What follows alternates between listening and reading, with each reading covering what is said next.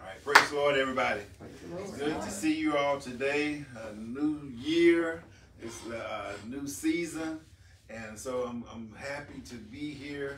I'm happy that you are here, and um, you know it's another opportunity, another day, another hour to get things right. You know, we may have messed up in, with things in the past, but now we have a new opportunity to get it right. And turn the calendar flipping over to 2024 should have nothing to do with you making changes in your life. This should be a daily thing that we do. And so we should celebrate life every day. You know, we have the big whoop to do at the end of the year with the drop of the ball, the peach, or whatever people do, would do uh, to celebrate the new year. But we need to celebrate every day, every day in the Lord. I have a great message in store today, but before we get into it, um, I'd just like to remind everyone who's watching and listening um, to visit, I wanted to say visit tm-church.com, that's Transformation Ministries website. I also like to mention that we are a teaching ministry because I want people to be in the know. I want people to know truth.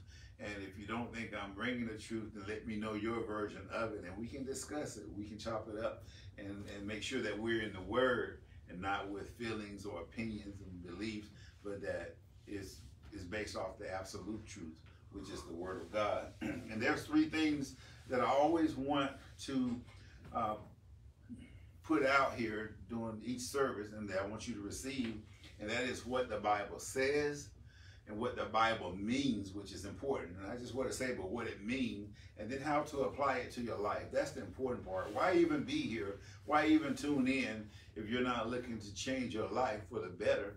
To be in the will of God. And that's what we're all about here. And that's why I teach the messages. So let me take a moment to pray for the service and also for the message that I'm about to bring. Dear Heavenly Father, we thank you, Lord God, for this day. Thank you for bringing us together, Lord God. Mm. Thank you for allowing us to come together in person and also virtually, Lord God. But with it being virtually, we have another opportunity to watch it again and again and Lord God, so help us, Lord God, to be able to do that and to make sure that we have it. And also, Lord God, uh, put it on the minds and, and hearts of people to share the information so that other people can also hear what uh, you have given me to present today. So, Lord God, bless all of those who are listening and watching and learning. In Jesus' precious name, amen. amen.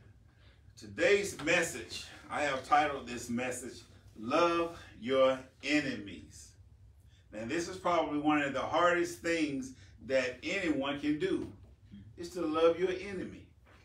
And I, that's what I'm going to challenge you with this message today, is to love your enemies. You're probably thinking, I can't, I, I know this person who did this certain thing, uh, uh, I can't love them. I don't care what you say. But don't take my word for it. Let's, we're going to see what God says about the matter. So I want you all to tune in, listen, listen carefully. So why is it so hard to love your enemy? Uh, I can answer that question by the definition of what an enemy is. I'm going to put it on the screen. There's um, different definitions that I gathered and put together uh, to make up, to make it more thorough. So an enemy feels hatred towards you. An enemy fosters harmful schemes against you. An enemy engages in antagonistic activities hostile to you. And the characteristics of an enemy include anger, hatred, frustration, envy, jealousy, fear, and distrust. So it is understandable that if a person is your enemy, that they hate you. Yeah. Hate is a strong word so is love. So, so it's also understandable to me, though, when I say that the enemy hates you based off the definition that we have on the screen here. Uh, it's understandable that you will hate them in return. We are Christians, but still we hate people, right? But not supposed to. Amen to that. However, if you consider yourself a follower of Jesus, you are not to hate those that hate you. I'm not saying it's going to be easy, but we're not to do it. In fact, you are to love those who hate you. you are to love your enemies. So let's look at the scripture. Like I said, don't take my word for it. Let's take God's word for it. It's a lengthy scripture coming from Matthew chapter 5, verses 43 through 48. It says, Ye have heard that it hath been said, Thou shalt love thy neighbor and hate thine enemy. But I say unto you, love your enemies. Bless them that curse you. Do good to them that hate you.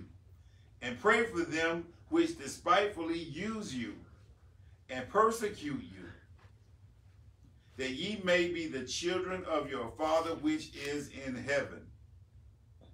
For he maketh his sun to rise on the evil and on the good. God is no respecter of person. He make the, the sun to rise and shine on everyone. And he sendeth the rain on the just and the unjust. It's not just raining on people who, who just want to water their grass and their fields and their crops. It's going to rain on anyone because that's what God does. He's not going to separate that when he pour out his blessing. So, for if ye love them which love you, what reward have you? There's no reward in that. That's easy to do. It comes natural. Do not even the publicans the same? And I guess the reason they mentioned the publicans is because they were the tax collectors. And and these publicans they talk about here, they, they make a profit. They make money off of people because they add a little interest to it. So even if they, then you know, they do the same thing that kind people do. So and if you salute your brethren only, what do ye more than others? Do not even the publicans so? But ye therefore perfect, even as your Father. He said, Be ye therefore perfect, even as your Father which is in heaven is perfect. We got to work at it. We got to work at it. It is easy to love those who love you, but not so much for those who hate you. And I, like I said, based off the definition, uh, is understandable why it's uh, not easy. I mean, why it's easy to to uh, it's easy to love the ones who love you, but it's hard to love those who hate you.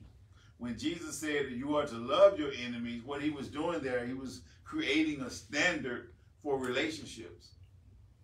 Because in any relationship, whether friends, whether family, whether spouses, whether siblings, I mean, there's there's going to be friction, but that don't make them your enemy. But I know of a lot of in a lot of households they are enemies. Sometimes between spouses. There was a movie that came out, Sleeping with the Enemy, where the, the, the spouse. I'm talking about this this husband and you've seen that with husband and wife, but it was he was like the enemy. And now they even coined a phrase uh, called called frenemies these friends that you have, they but sometimes they're like they act like enemies, so they call them frenemies. So you are to have loving feelings toward your enemies. But how do you do that? Let's go to the scripture. In Luke chapter 6, verse 27 through 30, it says, But I say unto you which hear, love your enemies. Do good to them which hate you. Bless them that curse you, and pray for them which despitefully use you. And unto him that smiteth thee on the one cheek, offer the other, offer also the other. And him that taketh away thy cloak, forbid not to take thy coat also. Somebody gonna take my scarf, my scarf and say, here, here's my coat too. But we know that's not easy to do. But I'm just reading the scripture. Give to every man that asketh thee, and of him that taketh away thy goods, ask them not again. So we are to love those who mistreat us, who despitefully disrespect us, deceive us, hurt us, mock us. So how do you go about loving your enemies? Perhaps the first thing you should do is love, uh, to do in order to love your enemies is to analyze yourself. Sometimes you got to look at you. Look at the man or woman in the mirror Let's look at Matthew chapter 7, verse 3 through 5. And why beholdest thou the mote or the speck that is in thy brother's eye, but considereth not the beam, big old plank two by four, big stick sticking out of your eye, that is in thine own eye? Or how wilt thou say to thy brother, Let me pull out the mote out of thine eye, and behold, a beam is in thine own eye? You, thou hypocrite, first cast out the beam out of thine eye, and then shalt thou see clearly to cast out the mote out of your brother's eye. So you got to fix yourself. You can't go around trying to uh, hate on people or or judge people because their sin is different from yours. You got to look at yourself. You know, I've seen people talking about well, he do drugs all the time. Right? But you're an alcoholic, but I don't do drugs. You know, you got to look at yourself, clean yourself up, then you can better judge their sin. I just say judge that person, but judge their sin. You can begin to love your enemies and love those uh, that hate you by looking at yourself. And none of us, we don't want to look at ourselves in that light. We want to look at ourselves and stick our chests out and look how good, say how good we are. But to be truthful, we can see how good we are not. Another thing you must do in seeking to love your enemies is discover the good that is in them. Discover the good that is in them. Every time you begin to hate someone, realize that there is some good in them. There's some good in everyone. Look at their good points to balance their bad points. Amen. Within the best of us, there is some evil. And within the worst of us, there is some good. When you realize this, you can think differently toward that person.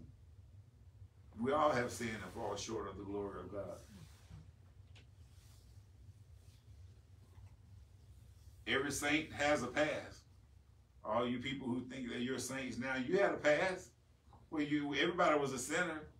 So you had to renew your thinking, renew your mind, transform your life.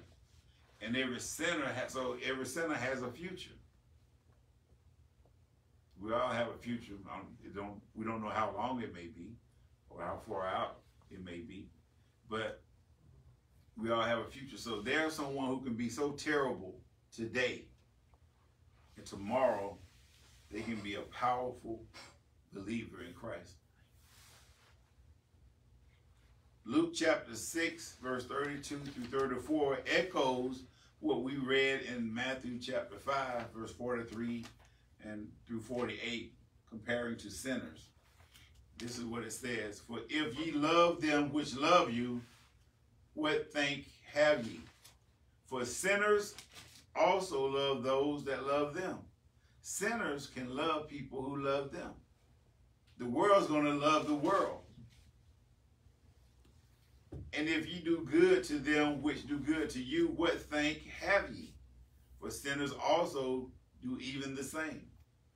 And if you lend to them whom ye you hope to receive, and what thank have ye? For sinners also lend to sinners to receive as much again. The lesson to love your enemies continue in Luke chapter 6, verse 35 through 36. But love ye your enemies, and do good and lend, hope, hoping for nothing again. I mean, I've heard people say, if, if I can't afford to lose it, I'm not going to loan it out. Because you become bitter when you don't get it back. And your reward shall be great, and ye shall be the children of the highest. For he is kind unto the unthankful and to the evil. But ye therefore be ye therefore merciful as your Father also is merciful. See, we are to be merciful to one another. We, have, we are to have compassion for our fellow man. There is a great example of this in the story of the Good Samaritan. You are familiar with the Good Samaritan? So I'm going to give you a quick history lesson about the Good Samaritan or about Samaritans. So what the Jews and when the Jews and the Samaritans when they intermarried, then the pure Jews they looked unto them as half breeds, as if there was a prejudice there.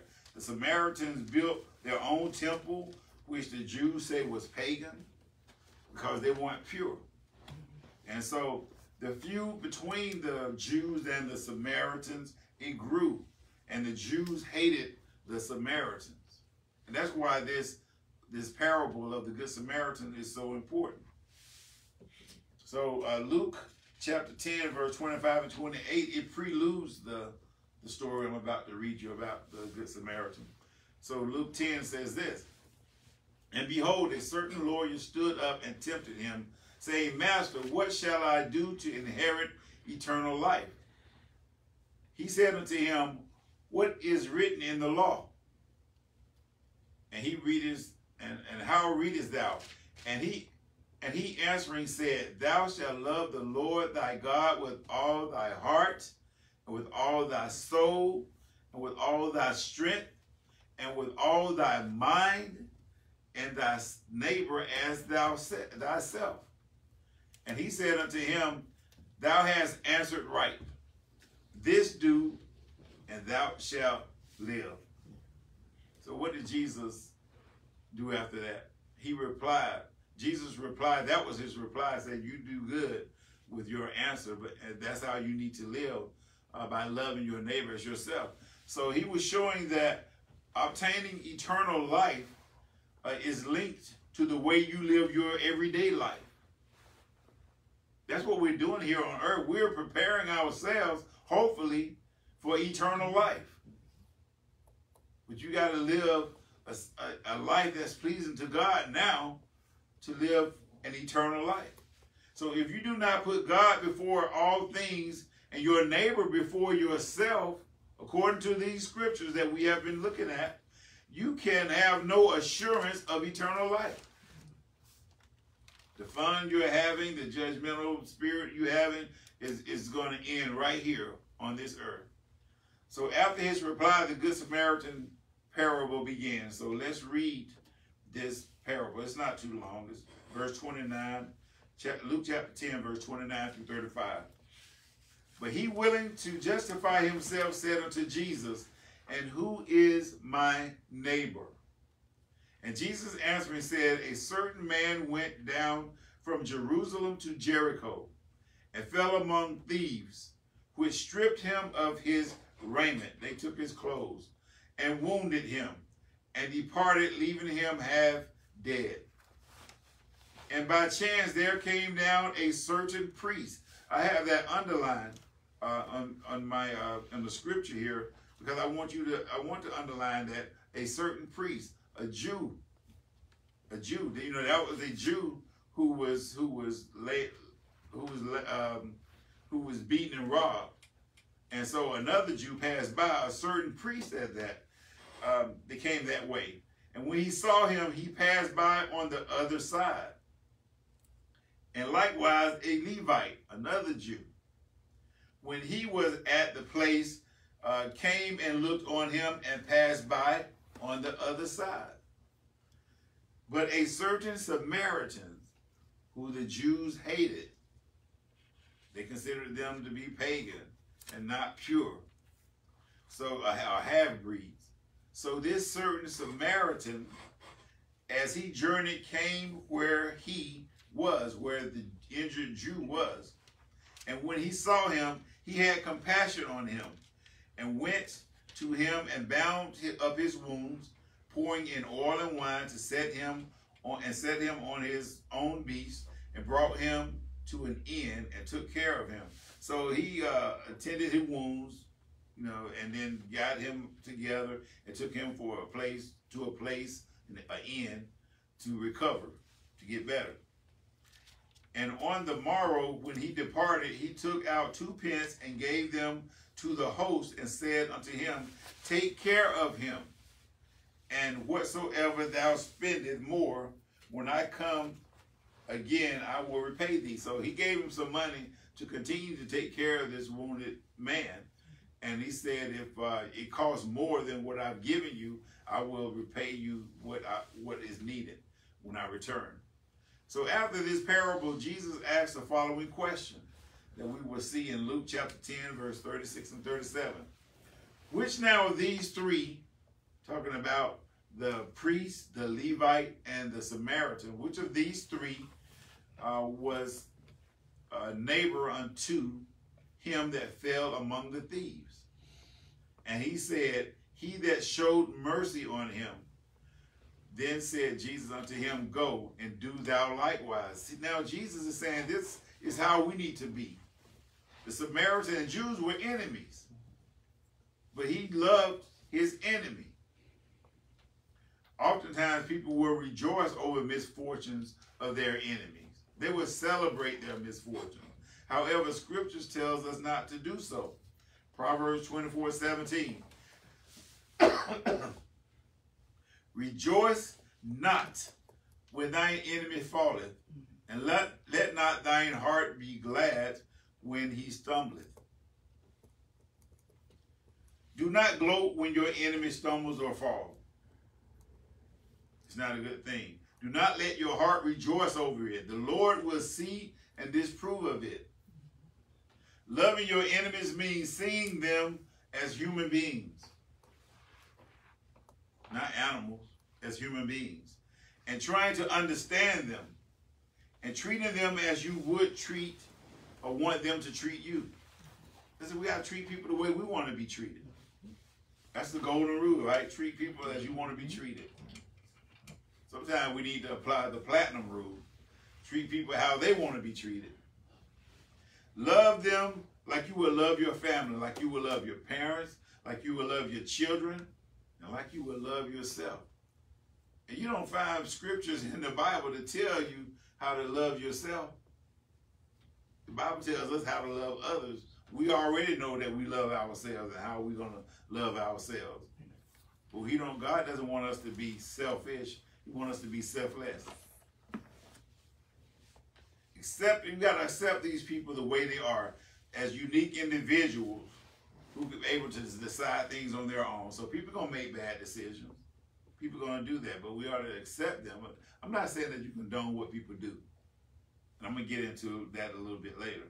So putting yourself uh, in your enemy's shoes is one of the most effective ways to show them that you love them. Put yourself in their place, in their shoes, to look at it from their perspective. This is a worthwhile act of empathy that anyone can do it in any situation. It says any situation. Seek to understand their side and try to understand their why. Sometimes when you find out the why of why people do certain things, then then you can build a relationship, a bond that will maybe influence them. And I have a story, true story here.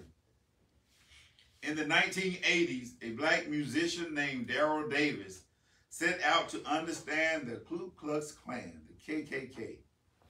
He started befriending members at Klan rallies and joined an all-white uh, country band. Then he met Imperial Wizard Roger Kelly. Davis spent years building a relationship with Kelly, establishing trust and eventually a friendship. They ate meals at each other's home while Davis listened to Kelly, asking to see how Kelly could hate a person like Davis without even knowing him. We do that often. We hate people we don't even know anything about them. But because they might be a Samaritan and we're a Jew, we hate them. Eventually, Kelly started listening to Davis and left the Klan altogether. The Grand Wizard, the Grand Poobah, he listened to him and you know he, he realized that hey, he's a human being just like me. So he left the Klan, giving Davis his robe and his hood. And over the past 30 years, Davis was now has now convinced over 200 former Klansmen to walk away. That's what happens when you love your enemy. So don't go and say, I can't love my enemy. But the Bible is telling us this is what we do. And it didn't happen overnight. Because you don't just love them for a day, you love them for a lifetime. That's how God changes things. He uses people to change things. There's a saying the best way to destroy an enemy is to make him a friend. And they'll credit Abraham Lincoln with this quote. I used to say this all the time. I didn't know that it was Abraham Lincoln who, who quoted it. So I found a story of an experiment on social media about what happens when you put a hundred black ants and a hundred red ants in a jar and shake them up. Uh, I heard that this story is accredited to Mark Twain. I saw that in some of the posts, and I have also heard that it's uh, that it's by David Attenborough. So I don't know which one is the originator of it, but uh, this is the experiment that was done. I also read where other people have conducted the same experiment and got the same results. And this is what it says. If you collect 100 black ants and 100 fire ants and put them in a jar, nothing will happen. Nothing's going to happen. They're in there together, cohabitating in this jar. But if you take the jar and shake it violently and leave it on the table, the ants will start killing each other. The red ants believe the black is the enemy, and the black believe the red is the enemy, when the real enemy is the person who shook the jar. Now, something, uh, this is the same, this can be true in society. When you have the blacks versus the whites, the men versus the women, faith versus science, young versus old, Democrat versus Republican, etc. People who hate because someone has shaken the jar. Before we fight each other, we must ask ourselves who shook the jar. Social media, a lot of times, uh, we look at that and we're going to hate somebody just because somebody else stated that they're bad or stated that we should hate them, that they're the enemy. I remember um, Muhammad Ali watching the, those old footage where uh, they was gonna. He didn't want to go fight in Vietnam, and he said, "They're not my enemy. You my enemy. You my oppressor. You know they haven't done anything to me. You're the one who do all these bad things to me." And so the uh, the media, the government, the, uh, the people will try to convince you to hate somebody who don't even know you and you don't know them. So this is something that enter, that's interesting uh, on this post. When I was reading the post, I was scrolling down looking at the comments. And one person said, um, the white people shook the jar. After that comment, the responses snowballed from people of many faces, places, and races needing to voice that put their two cents in on this equation. And so they became, it's like they became a whole new experiment of their own because uh, they were killing each other with their retaliating comments. The jar had been shaken. And I, you know, it was thousands of people. And then you go, there's a whole nother comment section about somebody else saying something about a, a certain type of people. And it was going back and forth and back and forth. This is no different from what happened with the ants. So it became clear to me that Satan shook this jar. And he, he takes forms in many ways uh, every day in this world, everywhere in this world. The devil is a puppet master. Stop viewing people as the enemy. I want you to walk away with something from this message today. Stop viewing people as the enemy. People are not the source of the problem. They might be a tool of the problem. They're not the source of the problem. Your battle is not with people. Your battle is with Satan behind them. The devil and the kingdom of darkness are the problem. Sin is the problem. The people you allow, uh, the, the, more you allow yourself to uh, be used by the forces of evil, and you have to allow it, but the more you do it, then the more you will succumb to the sinful nature, to your sinful nature. People must forgive and bless each other and turn to God to strengthen them, um, strengthen their will against the enemy, against Satan. So I have a personal testimony that uh, I want to share with you. Uh, how instead of retaliating against someone who did me wrong, who tried to wrong me, uh, I blessed them instead, which uh, resulted in an apology, a sincere apology, and a friendship, a better friendship. An employee lied on me by saying that I sexually harassed her. Now that's serious, especially these days. So when I learned of this, I immediately contacted my supervisor and human resources and requested that we all meet there. So we had a meeting with my supervisor, my employee, and human resources. And so in the meeting, um, the person admitted that she made it all up because she was not happy with the evaluation that I gave her. And so because of her disability, they just wanted to keep it a low low key and did nothing said, and I was like, hey, I was violated. This could have went very bad for me. You know, but the thing is, is that we are to forgive, not hate our enemies, but love our enemies. So on a future date, I submitted a write-up for this employee to receiving an award, and she got it. She got this award. And so afterwards, she sincerely apologized with tears in her eyes and thanked me for forgiving her and, and all the things because she, her action came against my integrity because she was fueled by anger. So remember what I said. the best way to destroy an enemy is to make him or her your friend. You destroy that enemy. I'm going to close with a couple more things. I'm, I'm going to close with these. In Matthew chapter 5, 4 to 3, which I hope is part of what I open with. But I say unto you, love your enemies. Bless them that curse you. Do good to them that hate you. And pray for them which despitefully use you and persecute you. It's really not that hard. We've seen some example. I gave you a personal testimony. We uh, saw what happened with the guy with the Klansman. Uh, we we uh, realize now that the Satan is shaking the jar.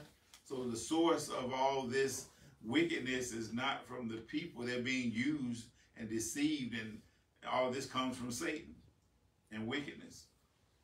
So my last quote comes from Dr. Martin Luther King Jr. He says, returning hate for hate multiplies hate, adding deeper darkness to a night already devoid of stars.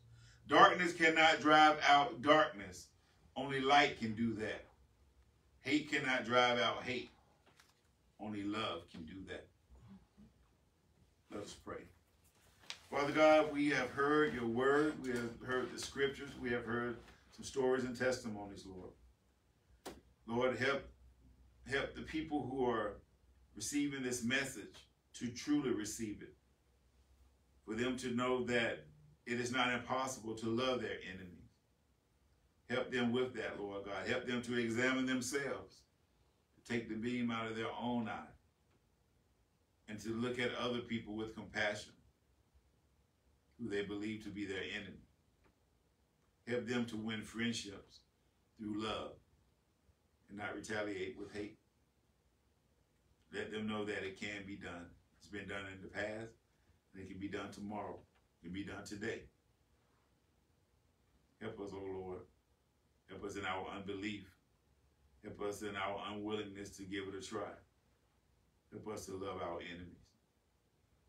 Thank you, Lord God, for all you have done, for what you're doing right now, Lord. I feel that you are doing something right now, and for what you're going to do. In the mighty name of Jesus. Amen. Amen. So, before I go, I just want to say, hey, if you're in the Fayetteville area or don't mind traveling to the Fayetteville area, we have services here at Transformation Ministries at 115 Carthy Avenue in Fayetteville, Georgia, 30214 every Saturday, Saturday at noon. We start prayer at a quarter till noon at 1145 to get our minds right, you know, so that we can stay focused on the word that's about to come, on the on the praise what we're going to do before the, the word comes. So come fellowship with us. I mean, it's always better in person. Now get out of the house. Get out of the house and come visit with us at Transformation Ministry. God bless you. We'll see you next week. Amen. Amen.